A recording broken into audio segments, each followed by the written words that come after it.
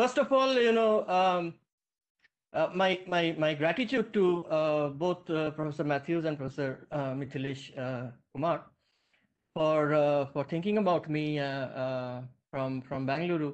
I was there in your city for a while. I worked at CSCS for a while last decade. So, so I have an intimate connection with, with your city. Um, now, again, you know, just the way uh, Professor Matthews was uh, telling me, when we conceived of the book, when I edited this book on populism uh, and its limits, you know, I was thinking of various disciplines. And just like Professor Matthews said, as a student of literature, I was also thinking about how to how to connect, uh, how to how to conceive of the idea of art, literature, and populism. Although I had some intuition in my mind, uh, as I went on, it sort of became slightly solidified. Uh, today, what I'm going to do is um, is give you my again uh, what one can call an oxymoron, you know, an intuitive logic. Let us say, uh, intuitive logic of of what I understand by uh, when I say populism, and it has direct connection with what Professor Matthews has said right now. Uh, in my own way, uh, I think there's already a dialogue which is beginning from what she said. Uh, let me go ahead with what, whatever I have to say. There are certain things which are tentative, uh, uh, and that I think is, uh, I would like to, you know, uh, have a discussion at the end, maybe certain points which I have to further sort of work further on those. Now, um, the old point, let us begin with the old point. What does art has to do with culture? Uh, this connection between um, art and literature and culture, this word. Now, if literature is a is a cultural phenomena, uh, by the way, I gave a title to this talk called "Enchaining Imagination." Now, I'll I'll talk about imagination uh, in the second half of my talk, but it has intricate connection. Now, if literature is a cultural phenomena, uh, literature can be or art, let us say, it can be uh, it can be used as a tool, or it can be manipulated as a tool, or it could be used fruitfully as a tool, so on and so forth. You know. That would be one approach.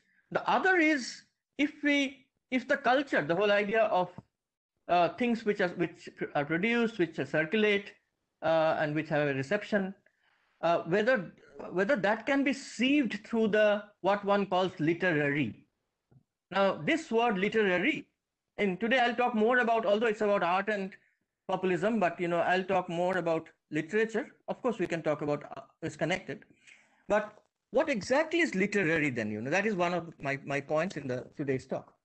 Now I'll go back very fast, quickly to 1939, almost a, almost a century ago, where this very well-known essay by this art critic uh, Clement Greenberg wrote this essay. Some of you may, may be aware of that. Avant-garde and Kitsch. Avant-garde and the Kitsch. Now Kitsch, Clement Greenberg was uh, arguing in that very well-known essay that it has now become the part, integral part of our productive system, right? and um, the way that high culture could not be, right? That was a and and you'll remember Duchamp's, you know, uh, ready-mades and so on. You know that. So there was people were understanding that you know the whole idea of judging, judging art, the whole idea of criterion of art were were were being challenged. You know the earlier ideas of, of judgment. Now that is one very important thing of today's talk today. You know, how how do we judge art? You know, how on what is the basis of the of setting the criterion? That will decide what is populist and what is not, possibly in some way. Okay. Now Greenberg said, well, yes, kitsch is very much part of art. We have to bring that together. But Greenberg also said that in that essay that whoever is engaging in, in kitsch and what is known as avant-garde at that point of time has a certain kind of you know bohemianism in uh, in in their attitude. There is a kind of uh, they want to detach themselves from culture society uh, from the bourgeois society and and and so on and so forth you know. Uh, uh, there, there is a very love-hate relationship between the avant-garde and the and the what one can call the left imagination at that point of time.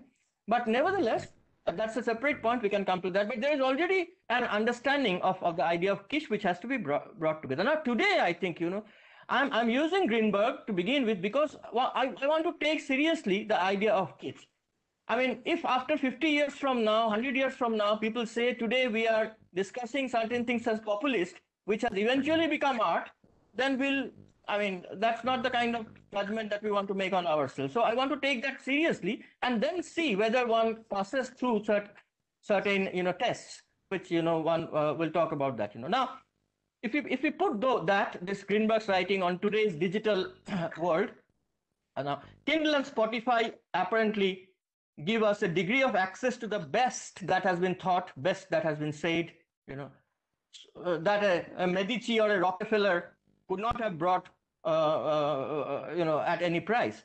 But at simultaneously, I think they also remind us that almost no one cares about uh, certain art objects or certain works of literature. For instance, if you search for Beethoven's Fifth Symphony on the on Spotify, the most popular recording of the most popular piece is you'll see is 1984 by Herbert von Karajan you know, with the Berlin Philharmonic. Now, if you want to go beyond that, you won't get anything. You know, I mean, there is a there's a bar there. You know, and also the first movement has been streamed 1.5 million times, and the third movement half a million times, which itself tells a story that you know the audience is very quick. That doesn't want to engage with you know a piece of uh, longish art and so on, you know. By contrast, there, of course, there are other kinds of things which are all everywhere there, you know. Now, what, what it does quickly, I think, you know, that whether these instruments, you know, Kindle and Spotify, actually reaching the so-called mass is uh, one one has to i don't have that data you know we are not sure there has been other kinds of reading what one calls if it is being massified in a way has it actually is it actually reaching on the other hand the other side of it is that people who engage with with the with uh, with certain kinds of cultures. I mentioned Beethoven. At times, you know, would be aristocrats. You know, a certain kind of bourgeois later on, and so on. And they would guard culture too.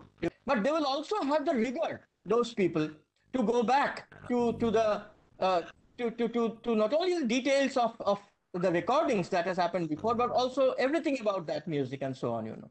So there's something happening with this culture. What we're seeing now I think is what one has, what one calls, it is not about high culture and low culture anymore, right? That, that divide was already there in 1970s and 1980s, you know, remember early Poco movement and so on, you know. Now, now what one sees is what some people have called no brow culture, you know, neither high nor, nor low, you know, no brow kind of a situation where there's a monochromatic kind of a situation often, you know. Now, you know, The second date after 1939, I would, I would of course flag, as many of you know, Adorno and Horkheimer's famous essay on, you know, uh, uh, writings on, on culture in culture industry. And the whole Frankfurt School was invested in that.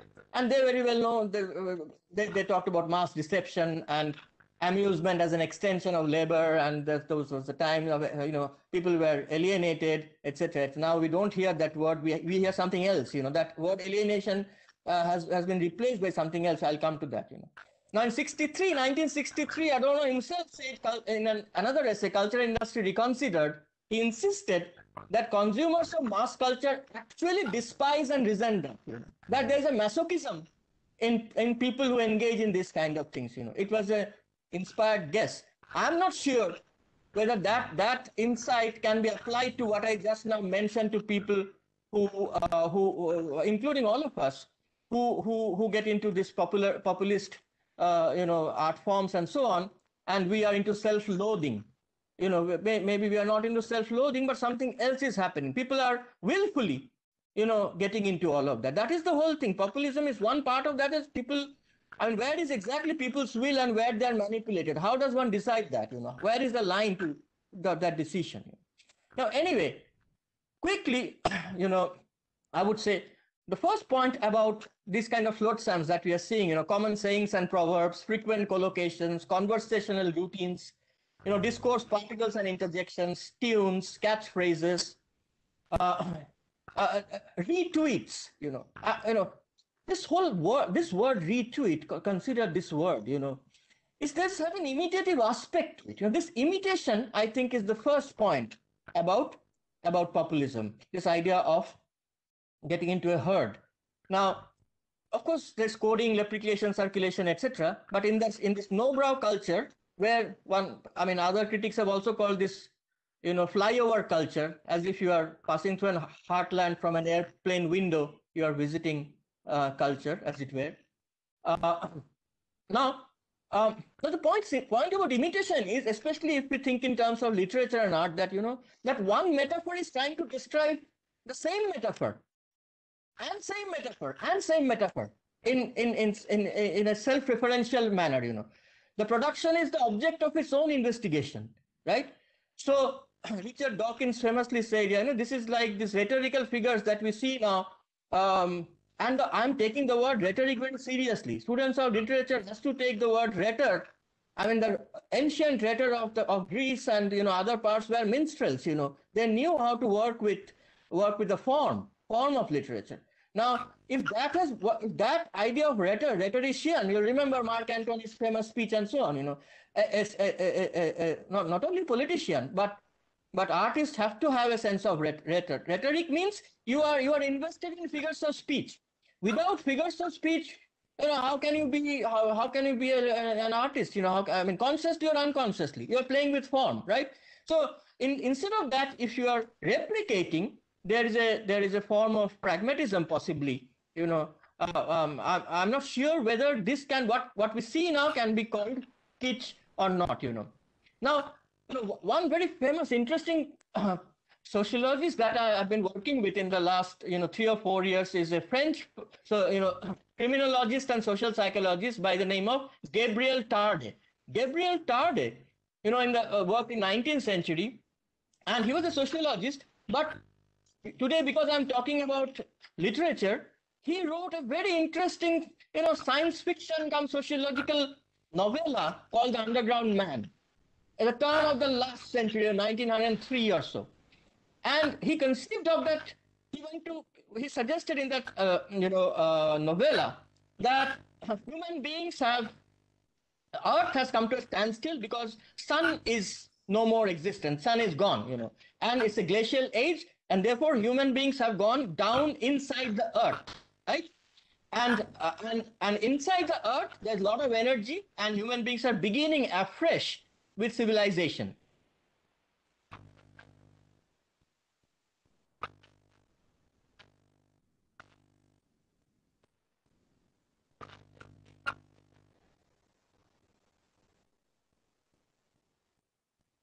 the state of nature is, you know.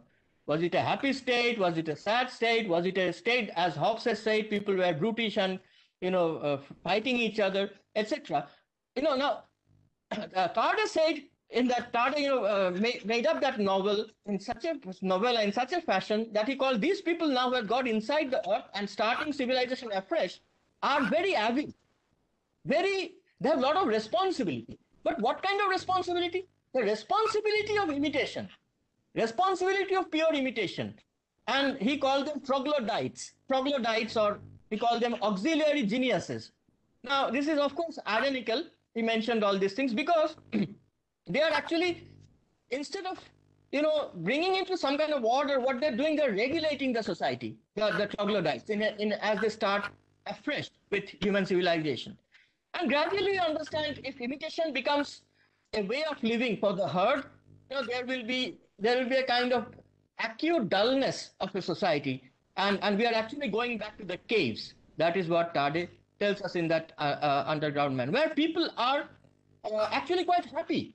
You know, happy to be amused, happy to be gratified, uh, happy to not think, happy to not imagine, uh, happy to not be self-reflexive. They just do things, right? And they're happy that is being provided. Mm. Now, this this is something, this avidity about this this group of people, multiplicity of relationships by which society runs, I think is very important to maybe quite an interesting way to understand what is what might be going on uh, with our culture right now. You know, with with with the world right now in some sense. That's so imitation. I would say is the first thing.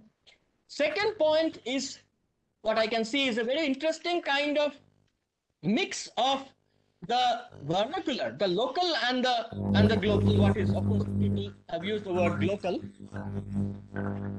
Am I audible? Yes, yes you are. Yes, yes, yes. Great, I'll go ahead. So what you see is, you know, what one can see is that there is a kind of art should have been decentralized in this, you know, world of free internet and you know free movement. Instead, what we are seeing there is a kind of vernacularization. Vernacularization, uh, uh, not a very interesting kind of vernacularization, but a very identitarian form of vernacularization, which is narrower and narrower, you know. So there's a kind of, you know, uh, very interesting again oxymoron, vernacular global. One can say it is does not seem like dem- democratic in the way it was supposed to be, right? Uh, this is the second point about this global vernacularization and each of us forming small sects, you know, small silos uh, where we feel comfortable. Even before the pandemic, it had already started. The pandemic, of course, has literalized, has made things literal about going to the caves, right? Now, the third point I would say, of course, is about circulation. The circulation comes with spin, right? We all know. Uh, uh, there is nothing benign about circulation. There are, you know, uh, the internet beams, for example, boil into the hellish recesses of, of the of the of the net.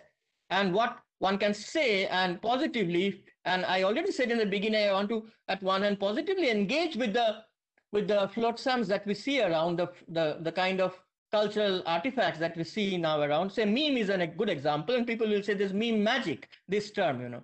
But the magic, I think, has also a connection with, with the other side, obverse side of magic is something that Professor Matthews has already mentioned. There is a kind of there's a kind of occultness, there's a kind of ritualization of that magic, you know, so that you know information technology is is moving towards some kind of media media ritual at times, and that media rituals could be quite uh, quite telling and quite horrifying and quite again quite narrow, you know, without expanding the the horizons of of of what of this sup- supposedly magical category of memes, right? You know, uh, besides, of course, we know that information that travels is nothing is is actually a, a, a, is not production that is benign, but which which uh, which uh, which is actually dead labor. Dead labor meaning you know that there are certain people who work on these things, but uh, of course, you know, the government somewhere up there, centralization, government or or big corporations who are who are ruling the uh, scene, etc. You know. Now, you know, very recently, some of you have heard about this term post cinema. You know, I heard it very recently from one of my, uh, you know, uh, friends who is into film studies, and he said, you know, we were always interested in moving images, but can we call what we see now as moving images on our, you know, cell phones cinema? Can we call it cinema, or should we have another name, you know, for this moving image? Now, there's a big debate apparently going on there. You know, that this idea of electronic mode of expression, automatism of cinema, what someone calls post continuity of films. Now, uh, and, and, there are a lot of issues there uh, uh, because there's they found out you know there are now long takes, there are unsteady camera, uh, there are frames and uh, and which spill over to the outside and so on. All these interesting things, but all these interesting things also has a very a financial side to it about circulation, right? In the, a new dimension is, is of that all visuality is rendered cinematic uh, in late capitalism uh, or you know whatever terms you, you use. Now late capitalism jameson used way back. You can use another term but something more refined possibly. Now these three points to begin with you know imitation and then global and vernacular and then then circulation. Now i come to because today's talk is about literature. I said you know about the literary suppose I take seriously this, and I, we ought to take seriously whatever is happening around us. You know, we we should not be patronizing, and yet we have to understand what is going on. You know, what are the possibilities of of of artistic possibilities in what we are seeing around? What are the po political possibilities? You know, etc. Uh, etc. So suppose someone says to me, you know, puts an argument that well, whatever you're seeing uh, saying is all right uh, uh, but don't you see this, you know, memes and images that we are seeing now? There's a parod parodic structure there, you know. Don't you see that? I already mentioned kitsch. Don't you see them? There is a uh, there's a uh, there's a lot of irony there. There is a you can call them pastiche if you like. You can use those words. Now uh, now I can talk. You know now now as a student of literature, I can say okay. If you say parody, then let us talk seriously about parody, right? Let us talk let us go back to the classical definition of parody and then see how parody has evolved. That is what we are taught and that is what what we teach in literature departments. That is what we are trained in. You know we know we have to make a distinction between parody and say burlesque or you know or or uh, mock epic or you know pastiche. All these are distinct terms you know. These are they, these cannot be conflated right so easily. That's what we learned from our undergrad undergrad days. So okay parody. So Parody is supposed to be a stylistic signaling of irony, right? That is a very simple definition. That is to say, you have to there has to be some someone has done something, and you are you are calling attention to the parodic artifact, attention to the exhaustion of that original uh, art product, right? So so but uh, so you do that. Par parody will have a kind of a repetition, and yet it will keep keep a distance from the original. So parody essentially the first thing about parody is you know of course irony but also that it has a very interesting you know uh, relationship with the original. It has it is not trying to diss the original. It is not trying to take down the original. You know what professor matthews mentioned cancel culture it's not trying to take down something. What it's trying to do is it's trying to make fun of something and yet having a very interesting relationship with the uh, with the original right? And uh, sometimes parody will be more uh, conservative and be more uh, uh, connected to the original. Sometimes it would be more eccentric, eccentric, right? That will be parodies, off center, eccentric. And so that both the artist and the audiences get, get the fun of, of what, what parody is. For example, very famously, Shakespeare's sonnet number 130, My mistress's eyes are nothing like the sun, is a it was getting into a ritual, a routine, and you know, and it was trying to uh, become all praise of the of, of one's lover and so on. And Shakespeare was trying to parody that. But Shakespeare was not was quite very reverential of, of Petrarch. He was he was not trying to diss Petrarch. He was trying to form a different relationship outside of Petrarch. Shakespeare may have inaugurated, you know, modernity, Western modernity, but but by by taking off from Petrarch, you know, that's that's something. Don Quixote, for example, Cervantes's you know uh, uh, archy archy novel, let us say, is of course a parody on medieval romances. And then in 20th century, you know, Borges again second time parodies Don Quixote in his Pierre Menard story, right? Uh, Austin Powers parodying James Bond, for example, or Monty Python and the Holy Grail parodying Arthurian legends, for example. All these many multiple examples from all walks of art you can bring those. But but notice the relationship. Notice the oscillation between identity and non-identity. Between identity and difference. There's always these two poles within which parody works. It cannot go on one side or the other. What is happening now i i'm afraid i suspect that's my hint is that we are losing touch with this precisely this element of of making making very interesting kind of wit. We are look we're, we're missing that wit and, and this uh, to, to say things at slight angle. Instead of doing that, we are becoming much more in your face. And therefore, we're losing the, the, the, the, the figures of speech without which what literature cannot be. You know. Now, I mean, if you say that, okay, what is burlesque or what is caricature? Of course, they also have their own way of looking into things. You know, of course, it is ludicrous. Rape of the lock, Pope's rape of the lock, famously, as you know, it's a it's a burlesque, high burlesque. You know, but but that again has a very interesting way of, of, of understanding uh, what literature is. You're playing with form and so on.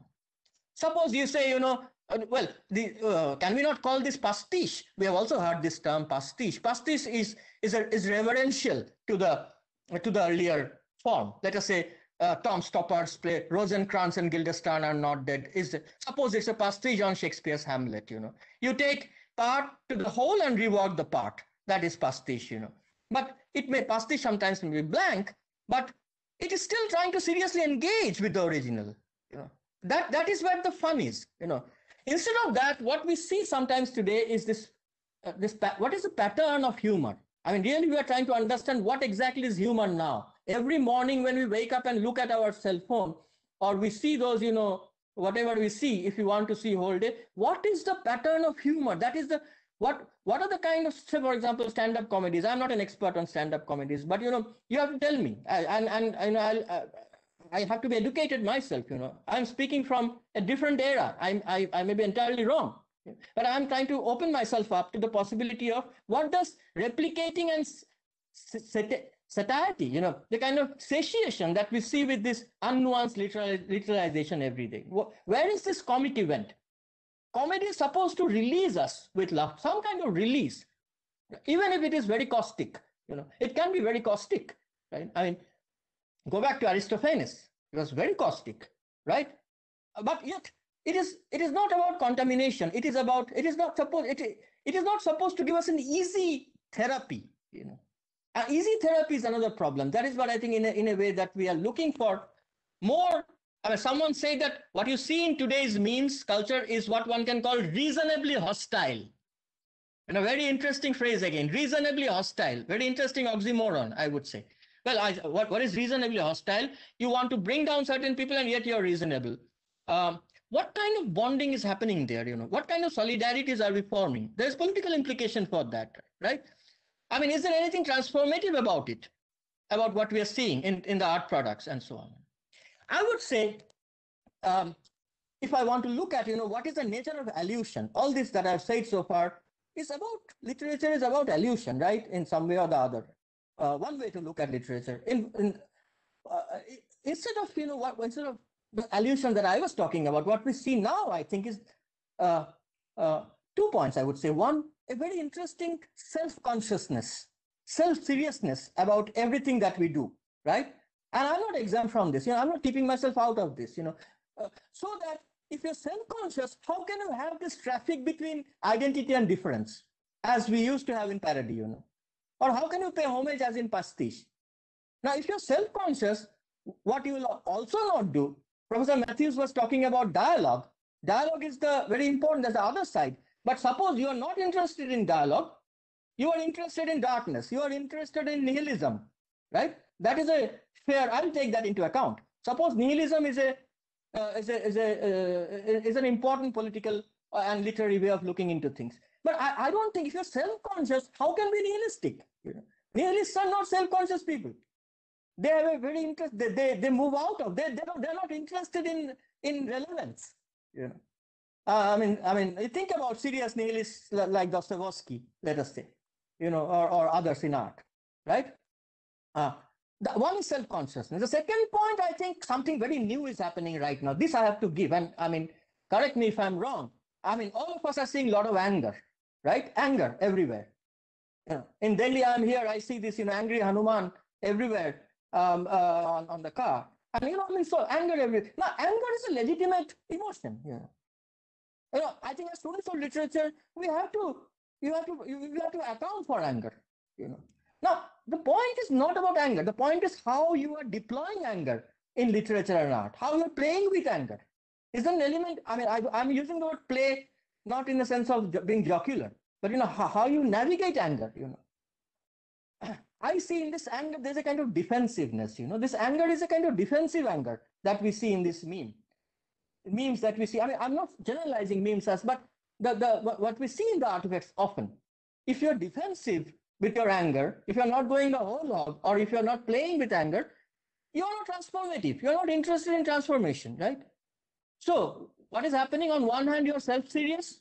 On the other hand, you're angry, right? And uh, these two things, you are you are neither being nihilistic, be really dark in your approach to art, and uh, and have a very very interesting romantic trait nor can you be transformative in in the way if you are not channelizing your anger. So in, in that sense i think i come to my uh, how much time do i have mithilesh?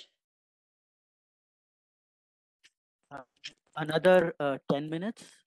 Okay. So now i mean i've spent enough time with my preamble. I'll talk a bit more a bit about imagination now which was supposed to be my subject. The other side of populism let us say. I'm trying to argue that you know it is today's times are deeply anti-intellectual. I think everyone will agree on that, you know.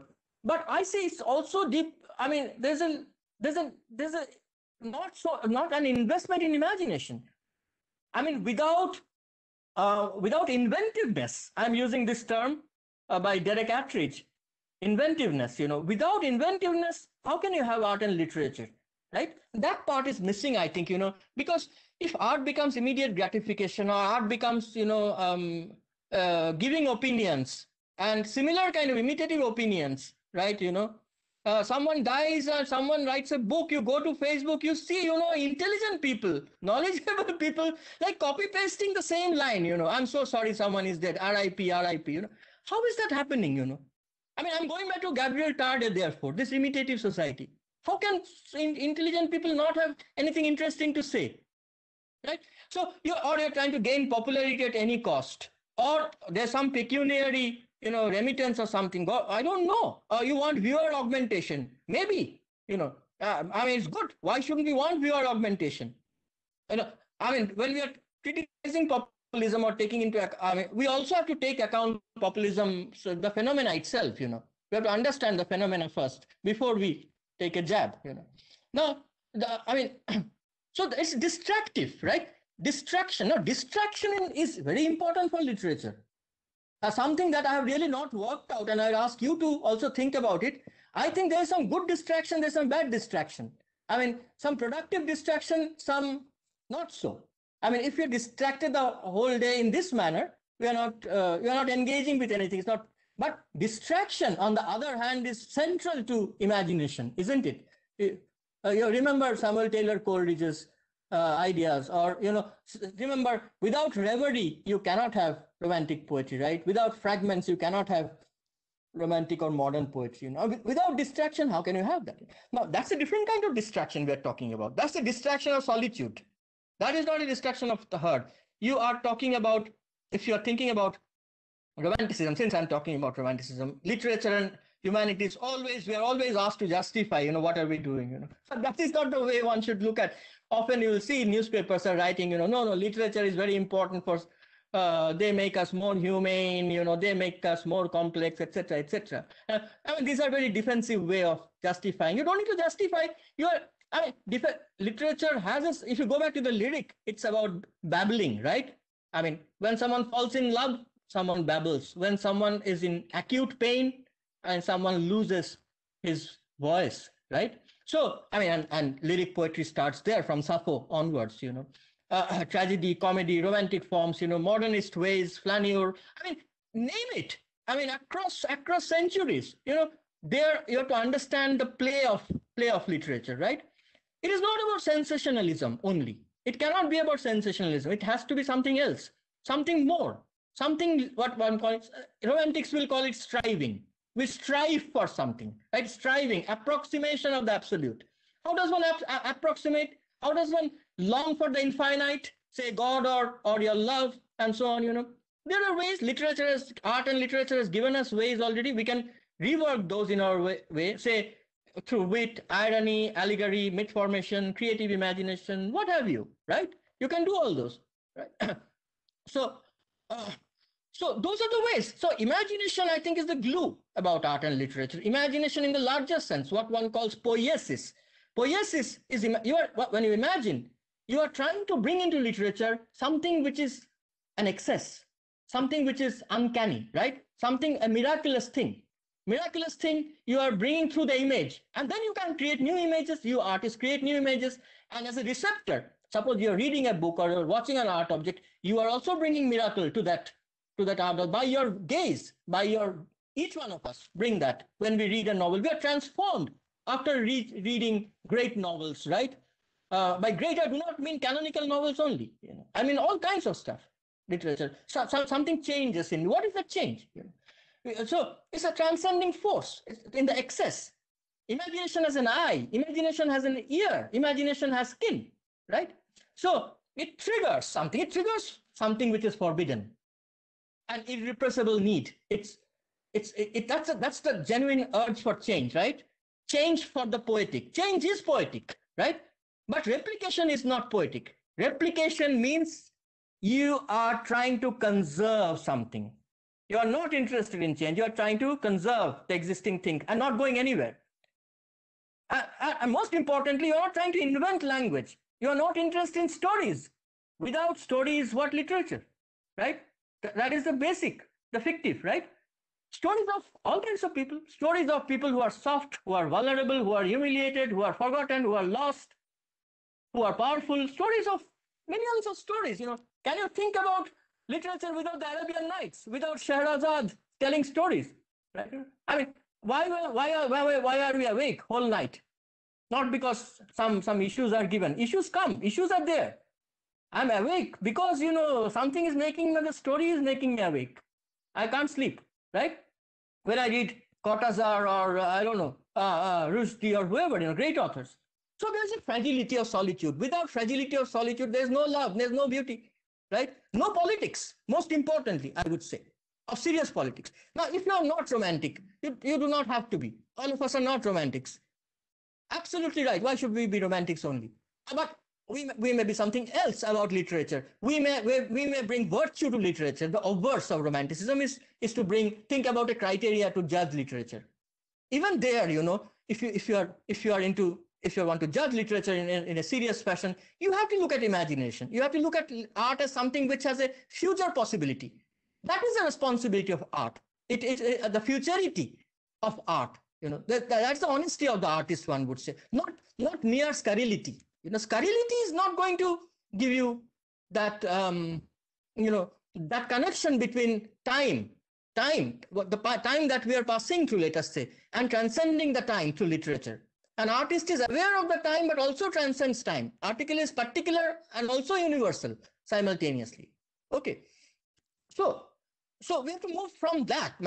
But we also we have to we have to understand that populism. But we also, I think, art is also has to challenge academicism. The other side is abstruseness, right, from the academics who are um, uh, who has detached themselves from from life, detached themselves from uh, uh, uh, from from art and life, and that is one of the challenges I think that populism is making in art, in literature, also in politics and history. That you know people are cut off, intellectuals are cut off, other people are cut off, and therefore they are challenging the mass the mass challenge that we are seeing, both from the right and the left, the polarization that we are seeing now uh, from from uh, every side, right? So there's no, no middle. I mean, we're talking about dialogue, right? There is also dissociation of sensibility now. I see. You know, T.S. Eliot called dissociation of sensibility. You know, we see now, you know, feeling, trauma, etc., etc. And in 20th century later, there was objectivity and so on. You know, now you know the subjective objective division between thought and intellect.